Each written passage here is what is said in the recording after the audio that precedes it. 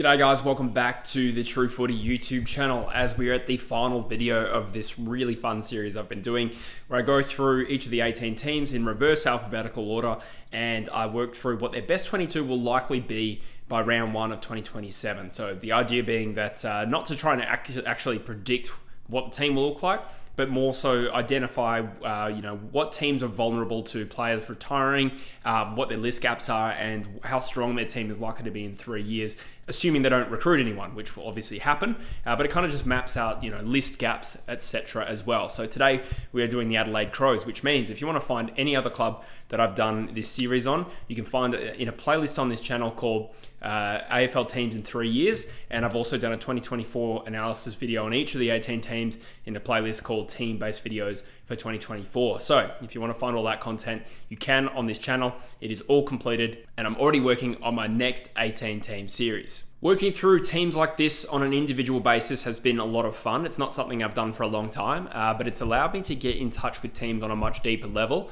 where I just sort of deep dive one team at a time.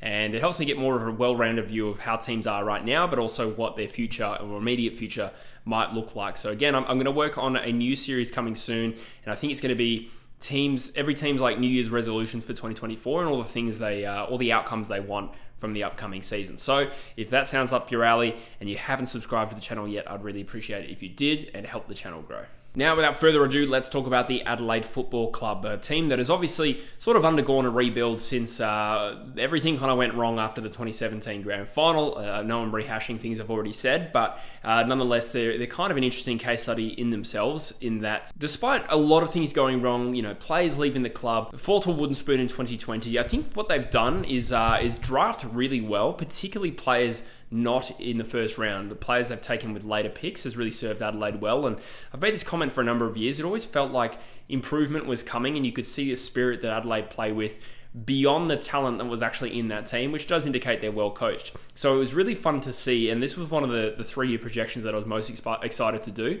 how far along they could be in three years, because they've probably achieved a little bit more than I expected each year up until this point. And I do think they're poised for potentially playing finals as early as next year. So we're going to have a look at this very young list. And the first thing we do is work through which players are likely to have retired three years from now. And there's four that I've selected. Okay, so one of them is Rory Sloane, he'll be 37. Tex Walker will be 36. Brodie Smith will be 35, Rory Laird will be 33. All of those ages are by round one of 2027. So I basically said anyone born in March is a year older, if that makes sense. So those are the only four players that I could rule out from being available uh, in three years from now. And I'll talk about the players that are over 30 that I've left on this list for various reasons. So uh, Matthew Crouch, uh, Reilly O'Brien, Kieran Strachan, Chris Burgess will all be 31. Crouch, uh, again, his his spot on the list has been a little bit tenuous over time, uh, so there's a chance he gets delisted before then. But I'm going to assume and keep him available for this. Uh, I know that he ended the year really well, and he could easily be best 22 still. Reilly O'Brien as a ruck 31, Strachan as well as a ruckman. I've barely seen the guy play, um, but yeah, he'll still be available. Same thing with Burgess. Again, later start to his career, 31 should be fine. And the fifth player there is Ben Keays, who will be 30 that year. So Again, it's there's not a lot of veterans in that team, which does indicate this Crow side is still still very very young. Um, so without further ado, let's crack into what their best 24 will look like. I've been doing a best 24 extended bench to get more of an indication of what the immediate depth is across all positions. Now, I'll explain what the colours and numbers mean. Now, this team probably has the most green out of any team so far, and I'll explain what the green means if you don't know it kind of indicates my confidence to which they'll, they'll still be in the best 22 uh, in three years' time. And it doesn't necessarily mean that the more green, the better the team. It just means like that's, I, I see that player being in that best 22. Uh, and yeah, there's a lot of green for the Adelaide Crows. With yellow, it just means I'm less sure. Um, for a number of reasons, it could be that they they haven't shown much at AFL level yet. Uh, there might be competition for that spot, or they might be at the end of their career. I'm not too sure if they're still there. Um, absolutely, there's a number of factors there. I wouldn't get too caught up in it anyway. It's just a bit of a visual aid. The numbers in the brackets, the first number indicates their age by round one. The second number uh, is a rough estimate of how many games experience they might have uh, based on, you know, how entrenched in the 22 they are currently right now. I've taken away a little bit for injury and suspension and stuff like that. Um, so let's talk about these uh, players line by line.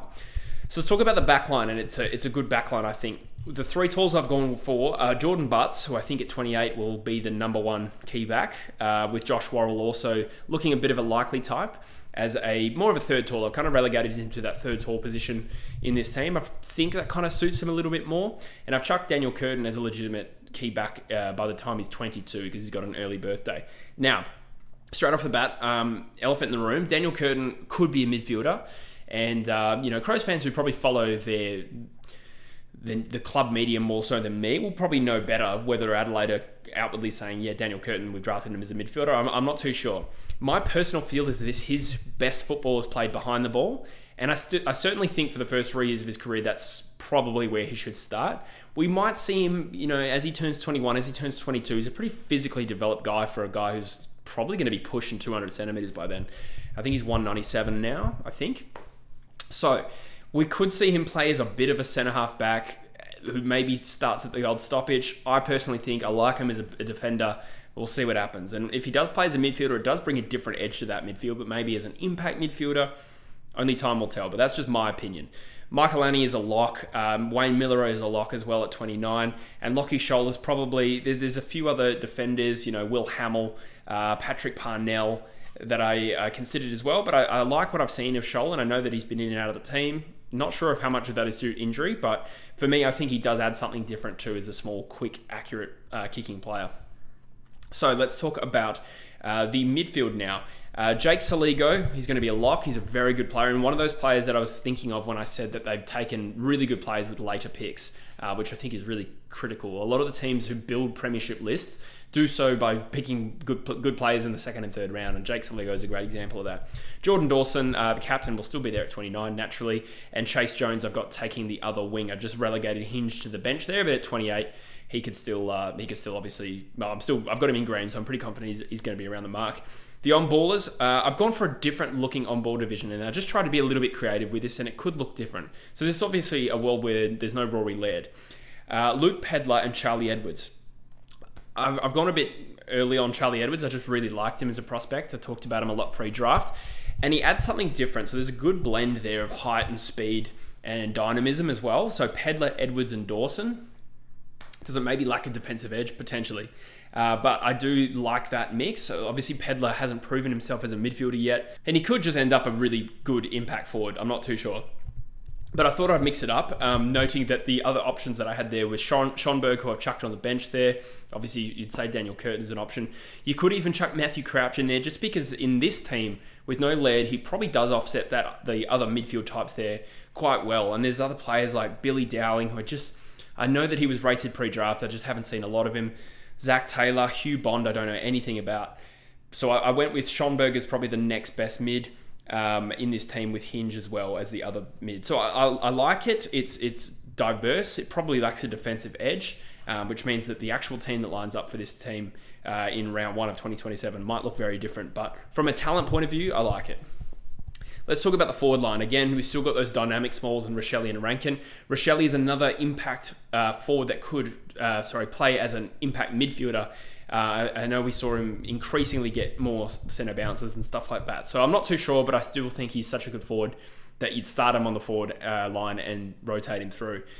The Talls, Fogarty, or Fogarty, I'm going to call him Fogarty because the name Fogarty just sounds wrong to me. And Thilthorpe, uh, another funny sounding name to be honest. Yeah, those guys are pretty pretty much going to be entrenched. Obviously, Phil Thilthorpe was picked two and, and has progressed very, very acceptably for a tall prospect.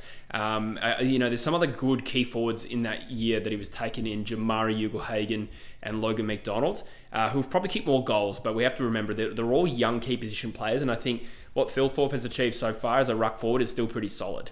Uh, so yeah, he's a he's a lock. I've chucked in their father son who they have not drafted yet in Tyler Welsh, which is a bold call, but he's probably going to be a first round draft pick. He's currently only 191 centimeters, which means he probably grow to that 194, 195 mark, potentially beyond.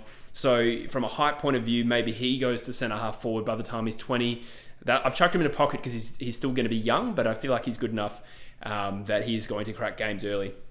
Brayden Cook was one player I left out of my 2024 version of this video, uh, but he seems to have his fans and seems to be a high potential forward midfielder. At the moment, he's a bit more of a medium forward, but potentially he rotates through that midfield too. So there's a lot of options there, a lot of depth in this midfield, which I like a lot.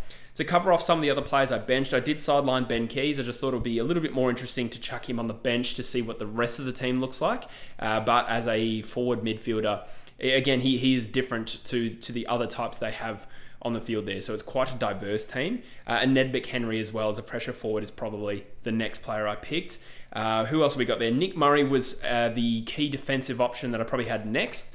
I understand he's got an ACL at the moment, and I think there's still there's a lot of subjectivity with these key back options for Adelaide. We've got a few decent prospects fighting for the same spot. That's just the way I ordered it. Uh, and it's potentially some recency bias there. The other one was Mark Keane, who ended the year well, I understand, but uh, it just didn't quite make it. So, Crows fans, let me know what you think of that particular mix that I've chosen. The other one is Oscar Ryan. You could easily chuck Oscar Ryan on the field for Lachie Sholl, uh, but I just thought I'd go conservative and chuck Ryan on the bench there. So, to cover off any names that I uh, didn't even mention yet, uh, I talked about a lot of the the defensive options like your Burgess types. I don't really know where he settles. Uh, Borlase as well, uh, rookie list. I'm not too sure if he's going to be there in three years. Um, I talked about the midfielder. Sam Berry's probably uh, adds something different to what they've got there as well, but I just had him out of the team. As for forwards, they've got a couple of tall to medium size options that have uh, have the potential to be there. So Elliot Himmelberg, again, I, I, feel like he'll end up at GWS to be honest, but he's, he's around the mark. But I think he would get sidelined in this scenario where we've got Fogarty, Welsh, and Thilthorpe. Anyway, uh, Gollant or Gallant, sorry, whatever it is. Um, yeah, as a, as a sort of undersized, tall marking forward. He's about 193 centimeters, I think, and he's shown some good signs at AFL level. Uh, but again, it's it's it's rife competition for a key forward spot in this team, particularly when you add Tyler Welsh. Um, and Lockie Murphy, I just had squeezed out of this team on the basis that I think he's going to be around the 30 mark. And Ned McHenry at 26, I think, has some potential to be that pressure forward that probably does set him out from the other small to medium types in this forward line. Your Rachele's and your Rankines, maybe they need a McHenry in three years to be that uh, forward line enforcer. So, overall, what are my comments on this team? Talented. I actually just still think it's probably a little bit young. Uh, when, so when I say young, I, I don't mean uh, young, too young to play finals or anything like that. I was kind of thinking in three years will the Crows be legitimately contending? Uh, from an age profile, they'll probably be tops four to six, I'd say. Uh, but there's there's a lot of talents there that, that could explode, and that that's what makes this different. So you know, Soligo and Pedlar are, are players that are probably just on the brink. Chayce Jones as well showed some really good signs. Could he take his game to the next level? To what extent does Dan Curtin come in and become you know a regular AFL player straight away? I think he'll become a, a regular player, no doubt about that. Um, and Rachele and Rankine are already good players, and Brayden Cook is probably another speculative one where it's just like we know they have potential. They're probably a good comparison to the Essendon list that I did. Um, you know, I don't even know how long ago, a few days ago on this channel, uh, where I just thought, you know, look on talent, yes, but there's just a lot of players there that could go either way but they do have a lot of potential. The thing about Adelaide, though, is I'll say this before, they're a strong organisation who have gone through some shit, come out on top. I like to think my club, West Coast, is of the same ilk. Obviously, obviously, is looking pretty rough right now. Collingwood is another one, and I just feel like the Crows always have played a little bit better than I expect them to, or, or, at least that they should from a list demographic point of view. I'm not trying to talk down the talent. What my point really that I'm saying here is that I see a talented team that probably isn't quite ready to, to genuinely compete in three years. It'll be around the mark, it'll be a finalist, but because they have that knack of just playing well as a team and as a system under Matthew Nicks, I wouldn't limit their potential for what they could achieve in three years' time. So um, they're an interesting team. I do like to watch them. As much as there's been some narrative this year that I, I don't like them, um, it's definitely not true. I, I, do see the potential, and I've got some individuals in that team that I really like to watch as well. So again, probably just finding some answers from a midfield point of view. You know, you know Dawson's a lock there. Pedlar and Ed- Edwards, uh, I've chucked in Edwards a bit boldly there, but if, if those guys those guys realize their potential, this team could be very very dangerous. So anyway, guys, that's my take on the Crows. Uh, again, another team with a lot of potential, and uh, at the end of the day, it's it's an impossible task to to predict how many players are going to hit their potential in three years. Uh, but they're one of those teams where they could be great or they could be merely good. It's too early to say, but the balance is there, the firepower is there, the talent is there. And uh, yeah, I expect them to be at least a dangerous team in three years, if not a legitimate contender yet. So, anyways, that, that's my take. Uh, let me know in the comments what you agree with, what you disagree with. Uh, fill me in on a few blanks, maybe a few things I got wrong in this video. Uh, will make me better at what I do. But as always, I appreciate you watching. I hope you've enjoyed this series. Look out for the next series starting probably tomorrow as you watch this. I'm about three three days ahead of what I'm uh, of what I'm actually releasing. So, but anyway, I appreciate you watching, and I'll see you in the next video, guys. Cheers.